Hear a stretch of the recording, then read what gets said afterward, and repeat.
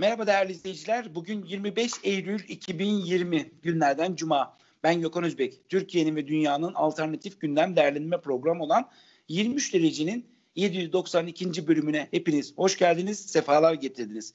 Bugün karşımızda bir ekonomist konuğumuz var. Serkan Özcan, Gelecek Partisi Hazine ve Maliye Politikaları Başkanı. Neler konuşacağız? Merkez Bankası'nın faizlerini konuşacağız. Faiz kararını kuru konuşacağız. BDDK'nın aldığı son kararı konuşacağız. Dahası ekonomiye dair ne varsa onu konuşacağız. Serkan Bey hoş geldiniz. Hoş bulduk. Merhabalar. Merhabalar. Tabii yayınımıza başlamadan hemen önce ufak bir hatırlatma yapmak istiyorum. Henüz abone değilseniz ekranınızın sağ alt tarafında bir abone ol butonu var. Onu tıklayalım. Bildirimleri mutlaka açalım. Sesimize ses, umudumuza umut olalım. Serkan Bey, dünden beri aslında Türkiye'nin ana gündem maddelerinden birisi Merkez Bankası'nın 200 bas puanlık artışı. Bir anda bu piyasada rahatlama yarattı. Bu beklenen bir karar mıydı yoksa beklentinin altında mı kaldı? Yoksa zoraki, utangaç bir faiz artırım kararı mı? Sizin yorumunuz nedir bu konuda çok merak ediyorum. Ee, teşekkür ederim. Şimdi bir bir şeyi netleştirerek, tespit ederek başlayalım isterseniz. Tabii ki. Bey. Şimdi Türkiye'de, e, Türkiye bir gelişmekte olan ülke. E, tasarruf açığı olan bir ülke. Cari açık veren e, bir ülke. E, enflasyonla mücadele, istikrarlı bir e, enflasyon, düşük faiz, e, istikrarlı bir kur, istikrarlı bir bankacılık sektörü. E, bunların hepsini aynı anda sağlayabilecek politikaları uygulamak, yönetmek hiç de kolay değil. Bunu bunu hepimiz biliyoruz. Geçmiş tecrübelerimizden de biliyoruz. Ee, ancak e, bizim gibi ülkeler açısından özellikle para politikasında, e, kamu maliyesinde e, hata yapma e, lüksü maalesef pek yok. E, Türkiye'de e, uzunca yıllardır hepimizin bildiği bilimle, bilgiyle, ülke örnekleriyle ortaya konulmuş enflasyonla mücadele bir tarafa bırakılıp bu hükümet tarafından e, çok e, farklı, e, enteresan, e, hiç kimsenin makul bulmadığı argümanlara sığınılarak yeni bir para politikası çerçevesi oluşturulmaya e, çalışıldı. Neydi bu para politikası çerçevesi? Hepimiz hatırlıyoruz. Özellikle Cumhurbaşkanlığı hükümet sistemine geçişle birlikte e, Sayın Cumhurbaşkanı bu ekonominin patronu benim e, diyerek Merkez Bankası bağımsızlığını e, ortadan kaldıran ve tamamıyla siyasi tahakkümün altına sokan bir e, yaklaşımla meseleye e, yaklaştı. E, buna ek olarak e, faizin enflasyonun e, temel nedeni olduğu e, argümanını savundu. E, buna uygun bir e, ekonomi e, politikası oluşturulacağını e, söyledi. Merkez Bankası atamaları bu şekilde e, yapıldı ve nitekim aslında bu argümana bir noktada karşı çıkan bir Merkez Bankası Başkanı da görevden alındı. Çünkü e, doğru olan yapılmıyordu. Yani e, enflasyonu tutturamadığı için değil, faizi yeterince indirmediği için görevden alınan bir Merkez Bankası Başkanı'yla e, Türkiye karşı karşıya kaldı. Oysa hepimizin bildiği bir şey var. Kanunla belirlenmiş. Merkez Bankası Kanunu ile belirlenmiş. Merkez Bankası'na verilen bir görev var. Nedir bu görev? E, fiyat istikrarını sağlamak. Şimdi fiyat istikrarını yani enflasyonla mücadele edip istikrarlı bir enflasyon e, patikasına ülkenin ekonomisine oturtmak. E, peki e, faizi düşünce enflasyon da düşeceğiz, e, düşecek e, denilen argüman e, doğru çıktı mı? E, maalesef çıkmadı. Özellikle Cumhurbaşkanlığı hükümet sisteminden bu yana Türk lirası %70-75 düzeyinde ciddi bir değer kaybıyla karşı karşıya kaldı. Yani biz bu sisteme geçtiğimizde kur 4-4,5 düzeyindeydi. İşte bugün 7,5 hatta bir noktada işte siz de hatırlıyorsunuz dün 7.70'lere kadar e, gitti. E, yani bu politika çalışmadı. Oysa aklı başında e, bu işleri bilen, liyakatli, ehliyetli, okumuş etmiş, akademisyeni, eski bürokratı, siyasetçisi herkes hep bir ağızdan tek bir şey söyledi. Sizin önerdiğiniz yani hükümete dedi ki sizin önerdiğiniz bu politika bileşimi doğru bir politika bileşimi değil. Olması gereken şey istikrarlı enflasyona ulaşmak için e, olması gereken şey kısa vadeli faizlerin enflasyon hedefiyle uyumlu olarak belirlenmesi. Yani enflasyon çok yükseldiği zaman kısa vadeli faizde bir tepki verilmesi, enflasyonun yerine oturtulması, daha sonra arz yönlü politikalar da izleyerek uzun vadede istikrarlı bir enflasyona ulaşılması. Merkez Bankası bunu reddetti. Bunu söyleyenleri yerli ve milli olmamakla e, açıkçası suçladı hükümet. Yani bu argümanı savunanlar bilime gelin, bilimin söylediğini yapın, doğruyu yapın diyenlere siz yerli değilsiniz, milli değilsiniz dedi. Hatta daha ileriye gitti. E, şucusunuz, bucusunuz dedi. Yani e, bugün geldiğimiz noktada dünkü kararla e, ben Merkez Bankası'nın da hükümetin de e, çok e, amiyane tabirle herkese pardon dediğini düşünüyorum. Pardon biz yanlış yapmışız. Ama bu hatalı beklenti hala evet. pardon özür diliyorum. Enflasyonun altında bir faiz var hala.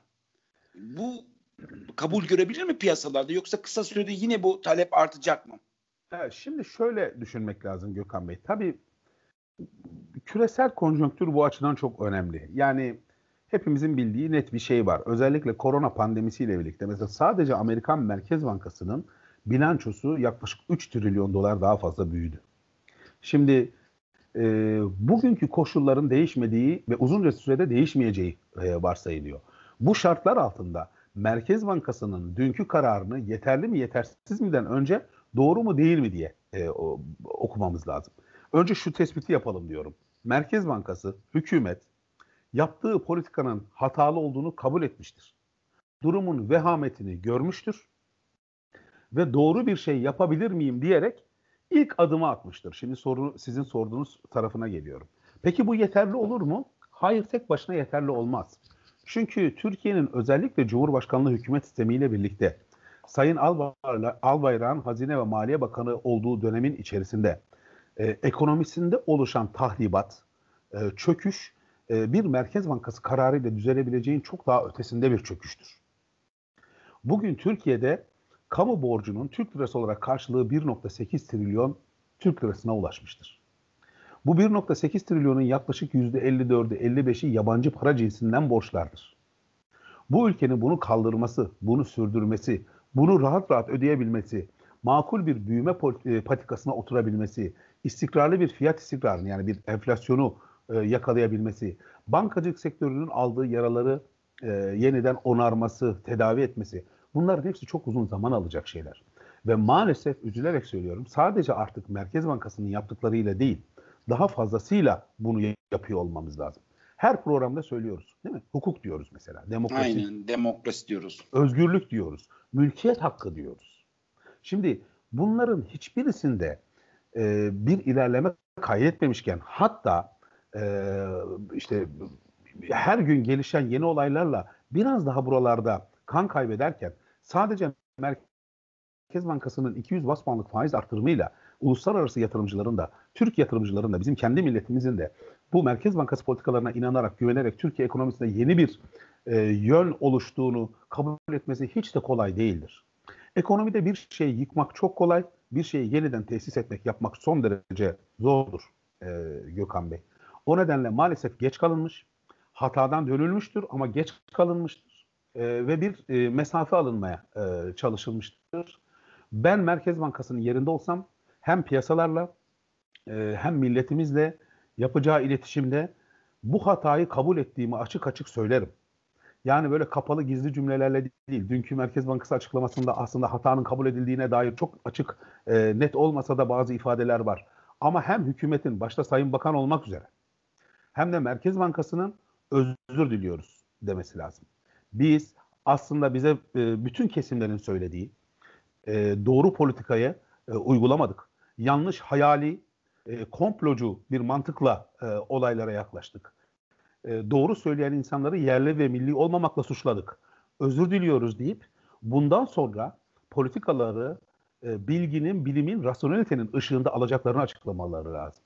Sadece tek bir faiz arttırımı kararıyla e, uzun vadede Türkiye ekonomisinde bütün yaraları sarmak maalesef mümkün değildir. Tabii bu Merkez Bankası'nın kararından sonra bugün BDDK'nın da bir swap hamlesi geldi. Swap düzenlemesi. Bunu nasıl yorumlamak gerek? Be? Aslında Merkez Bankası'nın iyimser, daha doğrusu hatayı kabullenen e, tavrını BDDK'da destekledi diyebilir miyiz? Bir tabii, bütüncül tabii, politikadan BD... bahsedebilir miyiz? Ta, tabii BDDK'dan pardon diyor. Yani bunu, bunu böyle yorumlamak lazım. Merkez Bankası bir hata yapmıştı. Bu hatasından döndüğüne dair bir sinyal veriyor. Ama ben de geç kalmayayım. Ben de bir pardon diyor. Şimdi e, Gökhan Bey ben bir e, Twitter'da sosyal medyada bununla ilgili bir bilgi paylaşmıştım. Türk lirası Cumhurbaşkanlığı hükümet sistemine geçtiğimiz günlerde gelişmekte olan ülkeler arasında uluslararası piyasada derinliği en fazla olan para birimiymiş. Bak bu buranın altını özellikle çizelim. Yani Londra piyasasında Türk lirasıyla yapılan işlemler diğer gelişmekte olan ülkelerin hepsinden daha fazlaymış. Buna Çin de dahil, Çin yuanı da dahil. Son iki senede şöyle bir akıl çalıştı Türkiye'de. Faiz düşerse enflasyon düşer. Ben kamu bankalarından musluğu açıp krediyi verirsem ekonomi büyür. E, efendim söyleyeyim uluslararası piyasalarda Türk lirasına saldırıyorlar. Dış mihraklar saldırıyor denerek uluslararası piyasalardaki Türk lirasının likiditesi kurutulmuştu. Bir noktada 56 milyar dolar günlük Türk lirası üzerinden işlem olurken uluslararası piyasalarda son açıklanan rakamlarda ki bunu İngiltere Merkez Bankası'nın anket rakamlarından görüyoruz. 20 milyar dolara kadar e, gerilemişti bu e, işlemler. Bu üç tane kayıp. çok ciddi bir kayıp. Bu üç tane e, sorunun, problemin ilki olan hani faiz düşer de enflasyon faiz düşerse enflasyon da düşer mantığından dünkü Merkez Bankası kararıyla bir pardon özür dilerim dendiğini görüyoruz. Bugün BDDK'nın aldığı karar ise işte o uluslararası piyasalarda Türk lirasının arzını kurutursam Türk lirası değerlenir diyen e, yanlış akıldan dolayı bir pardon denildiğini görüyoruz. Muhtemelen önümüzdeki günlerde e, uluslararası piyasalarla da bizim yatırımcılarımızla da e, hem BDDK'nın hem Merkez Bankası'nın almış olduğu bu kararlarda e, bir geri adım e, olduğunu, e, daha fazla iletişiminin yapıldığını e, göreceğiz. Uluslararası piyasalarda Türk lirasının arzını kurutarak, e, elinizde olan yönetimine sahip olduğunuz kamu bankalarının kredi musluklarını açıp kredi verdirerek, hem de inanılmaz e, hızda kredi verdirerek, faiz düşer de faiz düşerse enflasyon da düşer diyerek hiçbir yere varamayacağınızı çok büyük bir bedel ödetmek kaydıyla kabul etmiş oldunuz. Bu ülke sizin bu hatalı, cahil, komplocu, her şeyi dış dünyaya, dış mihraklara bağlayan, çok affınıza sığınarak söylüyorum, kahve, kahve muhabbeti düzeyindeki politikalarınız nedeniyle milyarlarca dolarlık, milyarlarca Türk liralık ya da büyük bir e, yükün altına girdi. Büyük bir zarar verdiniz. E, bu kadar büyük bir zararı, bu, bu, bu zararın oluşacağını anlamak için e, bu kadar büyük bir e, de, deney, bu kadar maliyetli bir deney keşke yapmasaydınız demek lazım. Serkan Bey peki bu BDDK'nın son kararından sonra şimdi Türk lirası arzı uluslararası piyasada artacak. Evet. Hani sizin biraz önceki dediniz ya arzı kurutursak e, manipülasyonun önüne geçilmiş olacak. Değer kaybetmesi önüne geçilecek. Böyle böyle düşünmüşlerdi Türk... dedim. Öyle düşünmüşlerdi. Aynı. O hatadan Aynı da anladım. Evet. Bu hatadan geri döndüler ama şimdi bu hatadan geri döndüklerine göre Türk lirasının kırılganlığı artmayacak mı uluslararası piyasalarda? Şöyle düşünmemiz lazım. Şimdi Gökhan Bey, e, ekonomi politikaları bir bir bileşim içerisinde olduğu zaman e, konuşması daha mantıklı oluyor. Yani bir yanda işte para politikası var. Ne diyoruz? Enflasyonla mücadele eden e, samimi bir politika yürüttüğünüzü anlatmanız lazım. Bu işin bir boyutu. Bunu yaptığınız zaman zaten piyasalarla e, bilgisiz ve cehaletinizle piyasalarla savaşmayı bırakıyorsunuz anlamına geliyor. İşin ikinci boyutu kamu maliyesinde çok da saçmalamamanız lazım. Kamu tasarrufunu önemsemeniz e, lazım değil mi? Bu işin ikinci boyutu. İşin üçüncü boyutu bankacılık sektörü. Bankacılık politikalarınızda, kredi politikalarınızda, e, altını çizelim tekrar, rezerv politikalarınızda doğruyu uyguladığınızı e, ortaya koymanız lazım. E, şunu e, bence çok maliyetli de olsa, bedeli çok ağır da olsa hükümet de anlamış gözüküyor. Uluslararası piyasalarda Türk lirasını kuruttum ama bak Türk lirası dünyanın hala en değersiz parası. Demek ki ben yanlış yaptım. Tamam mı?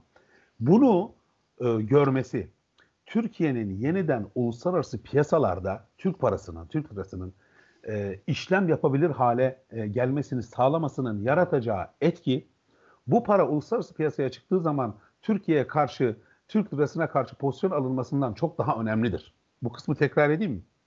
Tabii yani, ki çok önemli bir konu bahsettiniz evet, aslında. Yani, yani piyasalara, tüm dünyaya, ekonominin içindeki tüm unsurlara şu mesajı vermek.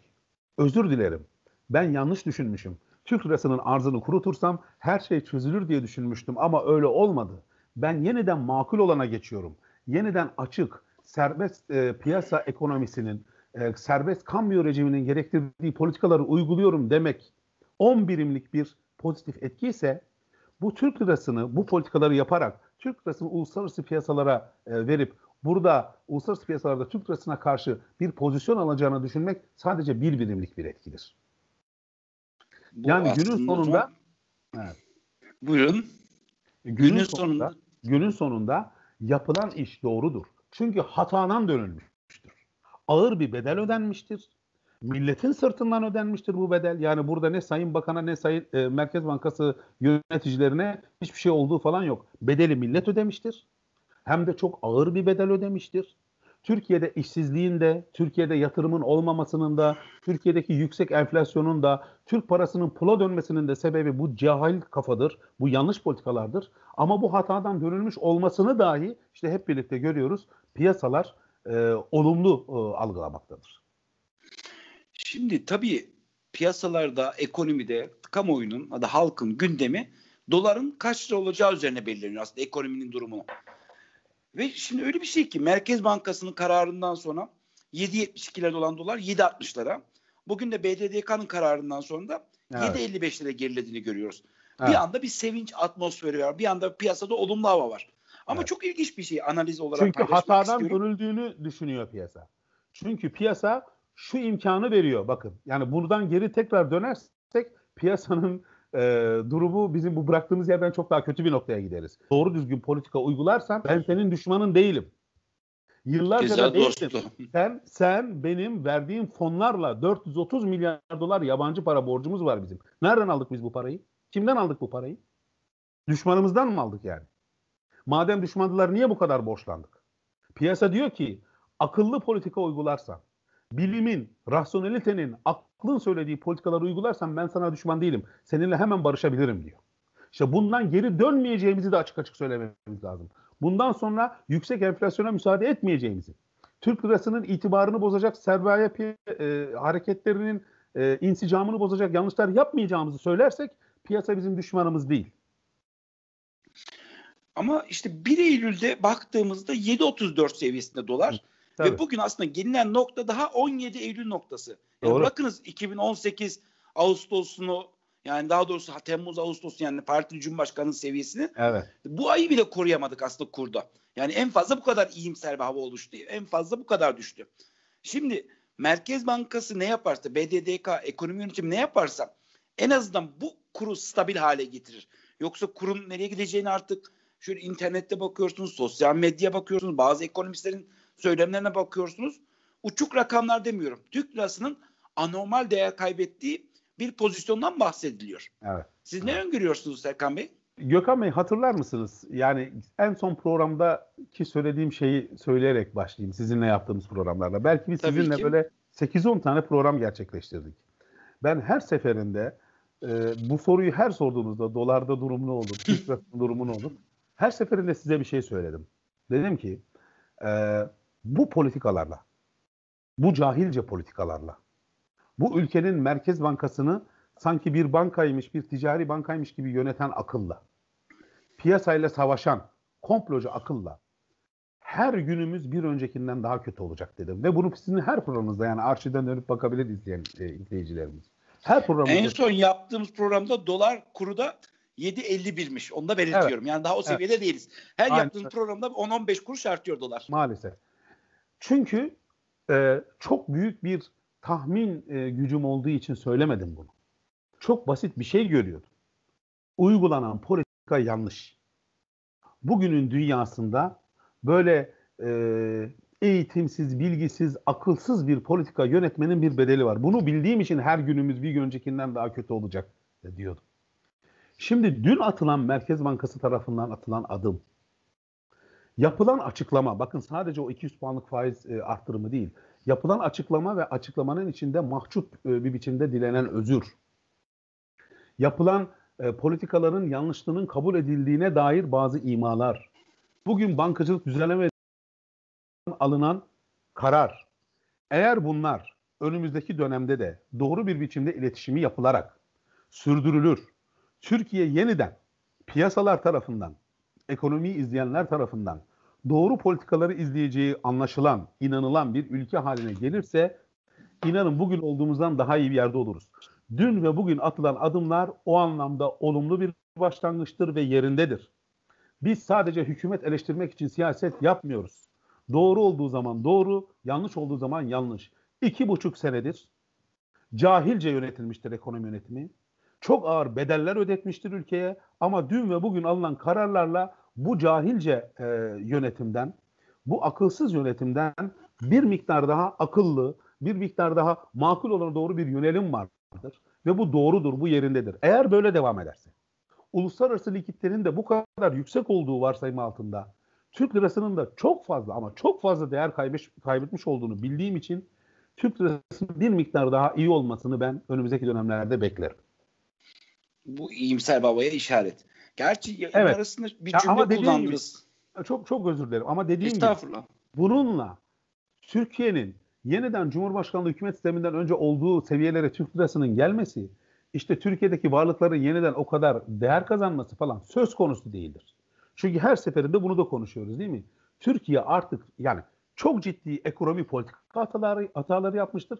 Ama artık Türkiye ekonomisinin e, sorunu sadece ekonomi değildir. Hatta belki de ilk sorunu ekonomi değildir.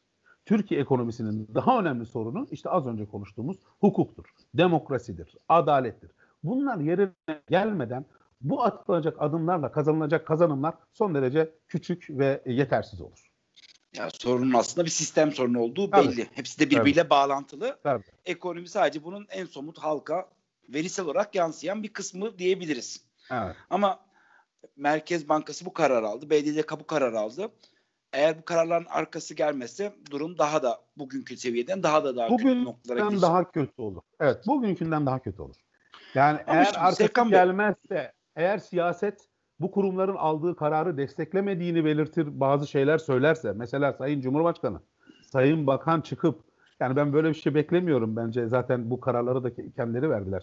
Türkiye'de ne BDDK'nın ne Merkez Bankası'nın falan karar verme artık şeyi yok. Ee, ama çıkar da bir yerde ben aslında faizin artmasını istemiyordum. Bu Merkez Bankası böyle yaptı falan dediği anda her şeyi tersine döndürürüz. Yani hatırlıyorum 2010 18'de o tatlı Tabii. dil formunda İngiltere'de her şey o zaman başladı. Merkez evet. Bankası'nın bağımsızlık tartışmaları. Evet. Ama ben şimdi şunu düşünüyorum. Yanlış hatırlamıyorsam sizinle bu 12. 23 derece programımız dile kolay. Evet. E, 12 oldu. Ama her seferinde tabii bu kısma bu soruya cevap verirken iyimser ihtimallerden yapılması gerekenlerden bahsediyorsunuz ama her bir yayın sonrası iki yayın arasında baktığımızda tam tersini yapıldığını görüyoruz. Sadece bu program hariç Merkez Bankası ve BDDK kararı. Hı. Şimdi geçmişteki tecrübeler sonuçta bilimsel analiz olarak da baktığımızda hükümet yine yanlışlar yaparsa o zaman biz gelecek sefer yine iyimser bir senaryo ama yapılan hatayı tekrar dile getireceğiz. Bu sefer yeni hata riskleri neler ya da neler yapabilirler? Ne tür bir hata yapabilirler? Şu anda en büyük risk e, dün ve bugün alınmış olan Merkez Bankası ve BDDK tarafından alınmış olan e, kararların arkasında durmamak olur Gökhan Bey. Az önce söyledim. Yani çıkar da bu kurumların bütün e, ekonomiyi izleyenler tarafından ha ilk defa doğru makul bir şey yapıyorlar denilen politikalarına hükümet sahip çıkmazsa hatanın en büyüğünü yapmış olur. Birinci riskimiz budur. Ama daha işte az önce söylediğim şey var. Yani Türkiye'de yatırımcının, üreticinin, sanayicinin, yerli ya da uluslararası e, varlık sahiplerinin Türkiye'yi yeniden önemsemesi, yeniden burada yatırım yapılabilir artık demesi, yeniden bu ülkeye yatırım yapar e, yapan kazanır demesi sadece bu önlemlerle çözülebilecek bir sorun değil. Mesela başka risklerimiz var değil mi? Türkiye'de hukukun e, hukuka zarar veren, e, hukuku daha geri götüren, bugün olduğumuz yerde zaten diplerde bir yerdeyiz ama daha da geriye doğru çeken bir iki tane uygulama görelim. Ekonomi e, politikalarıyla sağladığını zannettiğimiz kazanımları bir anda unuturuz. Bütün yatırımcılar unutur. Yatırımcı istikrar istiyor. Yatırımcı makul politika istiyor. Yatırımcı karmaşa istemiyor. Yatırımcı doğru politikaların uygulandığını, izlendiğini ve bu konuda bir taahhüt verildiğini görmek istiyor. Mesela yatırımcı bir şey daha istiyor Gökhan Bey. Diyor ki hata yapana hesabını sorun diyor. Yanlış Ama bizde yapana hesabını sorun. işte. Maalesef. İşte az, az önceki şeyden onu söyleyecektim. Yani faiz düşerse enflasyon da düşer diyeceksiniz. Faizleri hızlı bir biçimde geriye getireceksiniz. Türk lirasının uluslararası piyasalardaki arzını kurutarak Türk lirasını koruyabileceğinizi zannedeceksiniz.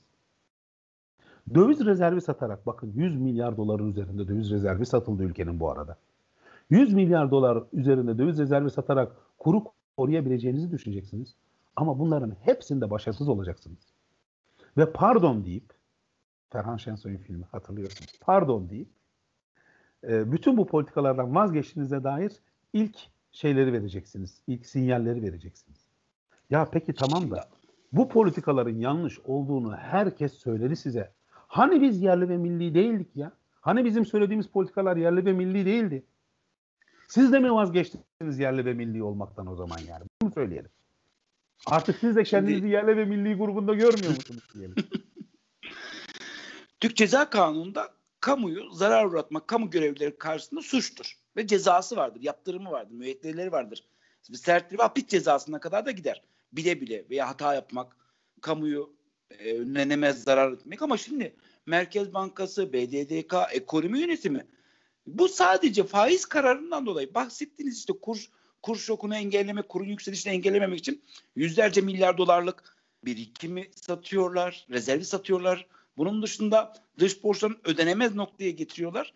Maalesef. Ama kimse bırakınız bir hesap vermeyi bir cezai sorumluluk dahi yok ortada. Zaten Hayır, bence yani, temel sorun da bu. Aç, açıkça özür bile dileyemiyorlar yani. İşte sabahtan beri onu anlatıyorum yani. Bırakın e, hesap vermeyi, bırakın bir cezai durumu. Çıkıp özür dilerim ya ben yanlış yapmışım, size de haksızlık etmişim deme medeni cesaretini dahi gösteremiyorlar. Ülkeyi yani bir deneyin içine sokacaksınız. Saçma sapan fikirlerle. Hiçbir temeli olmayan, bilimsel olmayan bir fikirle ülkeyi bu keşmekeşin içine sokup bu kadar büyük ağır bir bedel ödeteceksiniz ülkeye. Ondan sonra çıkıp bir günde işte 200 puan faiz arttırıp bedele kalan swap limitlerini gevşetip e, bakın doğruyu yaptık diyeceksiniz. Ya çıkın bir hesap verin ya. En azından bu politikaları uygulayan, size uygulanması yönünde telkinde bulunan bürokratları görevden aldığınızı söyleyin. Bir hata yaptık. Yanlış bilgi ve yanlış yönlendirme ve yanlış kararlar sonucu yaptırım uygulayın. yani değil mi? Yani mesela Hatta ben sizin bu... parti bu konuda suç duyurusunda bulunur mu acaba SPK ve TCK maddelerine gereği? gereği?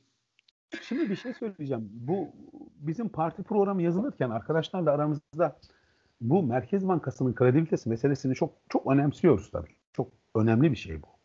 Yani kredibilitesi olmayan, inanılırlığı olmayan bir Merkez Bankası'nın para politikası uygulamalarından bir şey çıkarmak Gökhan Bey pek mümkün değil. Yani bugün Amerikan Merkez Bankası karar verdiğinde, İngiltere Merkez Bankası karar verdiğinde ya da Avrupa Merkez Bankası karar verdiğinde herkesin kulak kesilip orayı dinliyor olmasının bir sebebi var. Çünkü bu bankalar, bu kurumlar bir politika açıklaması yaptıklarında bunu uygulayacağından, bunun uygulanabileceğinden, onların ekonomiyi nasıl gördüğünün önemli olduğundan hareketle insanlar oraya odaklanır, dinlerler. Bizde Merkez Bankası'nın bu yanlış politikaları nedeniyle söylediği her şeyin tersi oldu. Bakın söyle, istisnasız her şeyin tersi oldu. Ve nitekim o terslikler işte zorladı onları ve bir politika değişikliğine gidilmek zorunda kalındı. Biz programı yazarken Gelecek Partisi'nde parti programını dedik ya bu bu, bu güvenilirliği nasıl sağlarız? Şöyle bir açıp e, buradan izleyicilerimiz lütfen Gelecek Partisi web sitesine girip e, onu incelesinler. Biz dedik ki e, iki dönem üst üste enflasyon hedefini tutturamayan ya da enflasyonun olması gereken aralığın dışında kalan Merkez Bankası Başkanı Türkiye Büyük Millet Meclisi'ndeki, bakın hükümet tarafından da demedik, Türkiye Büyük Millet Meclisi'ndeki ilgili ihtisas komisyonu tarafından, mesela plan bütçe komisyonu diyelim. İlgili ihtisas komisyonu tarafından görevden alınabilir dedik. Bir Merkez radikal Bankası, bir karar. Tabii bu, bu bizim programımızda var ve inşallah bunu yapacağız. Merkez Bankası'nda güvenilirliği, e, kredibiliteyi arttırmanın tek yolu bu. Enflasyon tutturamayan Merkez Bankası Başkanı başarısızdır. Faiz indirmeyen değil. Ama işte bunu faiz sorgulayan yok. Yani... Için, yani faiz indirmediği için siz bir Merkez Bankası Başkanı'nı görev alıp, görevden alıp bak bu arkadaşla daha iyi anlaşıyoruz deyip daha sonra o arkadaş 200 puan faiz arttırıyorsa kendinize dönüp nerede hata yaptım diye sormalı. Şimdi tabii tam trajikomik bir ülke haline geldik yani ama Maalesef. ekonomide şaka yok yani ekonomide hata yok. Yaptığınız her hatanın ağır bedelleri var ve bu bedelleri hepimiz her yurttaş ödüyor vergisiyle, Maalesef. alın teriyle, emeğiyle. Çok Umarım haklısın. sonumuz iyi olur diyorum Serkan Bey. İnşallah. Çok teşekkür ediyorum yayınımıza ben katıldığınız için, değerli Çok görüşlerinizi paylaştığınız için. Sağ olun. Evet 23 Televizyon'un değerli izleyicileri, Gelecek Partisi Hazine ve Maliye Politikalar Başkanı Serkan Özcan'la haftalık değerlendirmemizi yine yaptık diyoruz. Aslında bir gelenek haline geldi. Her hafta bağlanmamız Serkan Bey'le. Merkez Bankası faizlerini